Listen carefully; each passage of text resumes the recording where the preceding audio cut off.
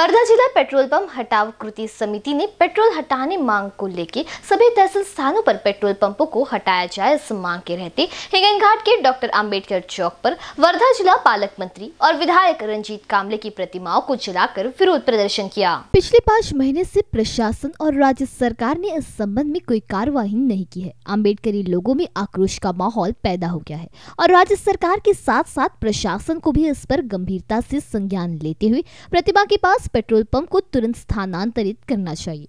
इसको लेकर आज आंदोलन किया गया। इस अवसर पर अनिल जवादी, गोरख भगत, अनिल मून, राजपाल शेंद्रे, विक्रांत भगत, मनोज वासीकर, कुणाल वासीकर, अजय डांगरी, सुभाष शिवनकर, अनुला सोनकुवर, मंगला कामले और कार्यकर्ता उपस्थित थे।